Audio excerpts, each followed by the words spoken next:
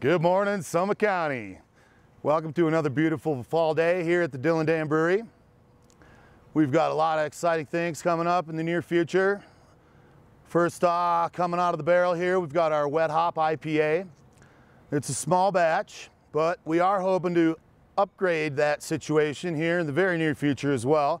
Get back to that later. The wet hop IPA uses over 40 pounds of fresh, hand-picked organic Colorado growing hops. They're picked in the morning and they're in the boil by about two in the afternoon, which gives us the freshest, uh, just zestiest, uh, most incredible hop flavor that you can put in an IPA.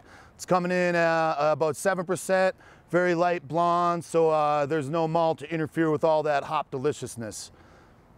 Uh, looking forward to that coming up soon here.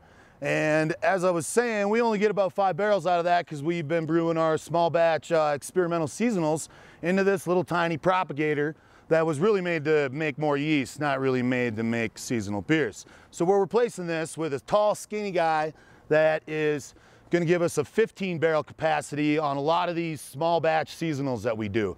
Uh, the goal here, of course, is that more people get to try this delicious beer. We've, uh, we've had way too many of them run out in three or four or five days. And uh, it's just sad to see a delicious beer gone that fast. So we're hoping to make those last for 15 or 20. Should be good times coming ahead. Uh, another seasonal we've got fermenting right now is our 2020 double IPA. Uh, it was a celebration of our 2000th batch of beer here at the Dam Brewery. We uh, decided to go with the uh, kind of the standard uh, double IPA, I guess. Lots of people like to do this for their anniversary. We kind of went off the deep end a little bit. We uh, were shooting for 9, 10%.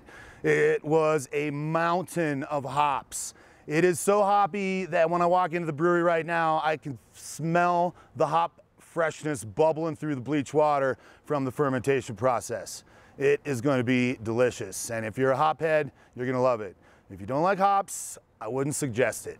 Uh, it's definitely going to be one of those love it or hate it type of beers.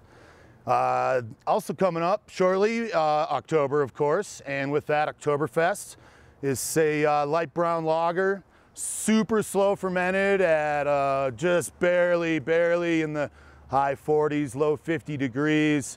It's been going for over a month now. It's going to be a very clean German lager with a nice, spicy German hop balance to it very drinkable, little bit higher alcohol, uh, you know, help us uh, keep us warm on these cool fall nights, despite uh, how beautiful it is right now.